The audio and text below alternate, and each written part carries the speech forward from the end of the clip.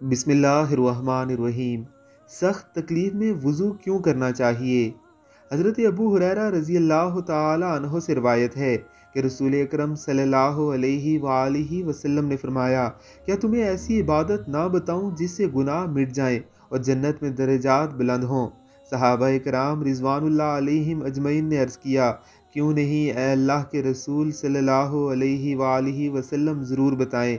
अब सल्लल्लाहु अलैहि वसल्लम ने फरमाया, सख्ती और तकलीफ़ के वक्त भी मुकम्मल वज़ू करना, जैसे सख्त सर्दी और कदमों का मस्जिद तक ज़्यादा होना, यानी मस्जिद और घर का फासला लंबा होने के बावजूद, मस्जिद में बाद जमात नमाज़ अदा करना और एक नमाज़ के बाद दूसरी नमाज़ का इंतज़ार करना। ये तीन चीज़ें ज़रूर कीजिए कि हमारे प्यारे पैगंबर सलात वसलाम ने ताकीदन इनका ज़िक्र फरमाया है।